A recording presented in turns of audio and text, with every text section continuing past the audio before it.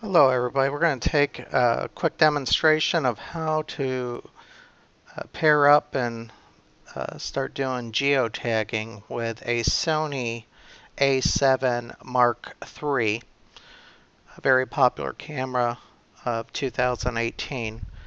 So basically once, uh, once you get into the camera, it does present you uh, with uh, an advertisement for the Sony PlayMemories app, mobile, uh, which you can download. Um, I'm downloading here on my iPhone.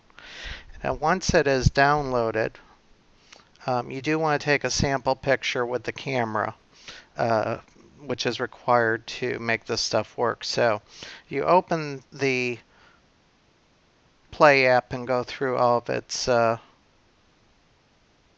questions marketing questions. And then basically, once you're into it, um, in this camera, you will go under the network icon, which is the globe, and send to smartphone. Um, and then choose send to smartphone and select on this device and then select an image. What that will do is it will kick it into Wi-Fi mode and you can click uh, not connected to camera in the app which will prompt you access to the camera and you take a picture of the QR code.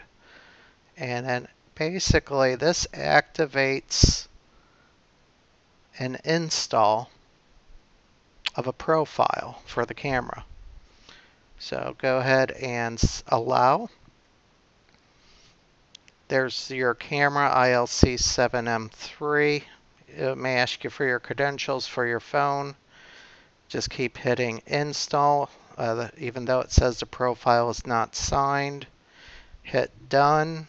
Once it says it, it is uh, installed, and then yes or open, and then there it is. So basically, now you choose in your Wi-Fi the ILC Mark III, ILCE uh, 7 Mark III, and it will transfer the photo over. And this actually, now you can actually access the new menu item, location, information, linkage, and basically, as we go through the settings here,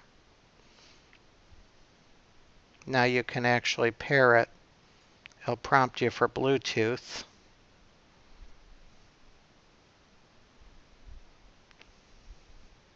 And once it's paired and you say OK, you'll go into the phone and turn it on in the menu. Again, under the network option,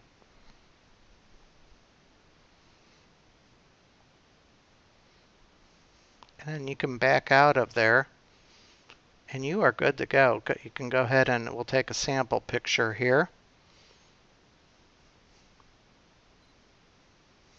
And then once we hit play, on the lower left hand corner of the picture is your GPS coordinates.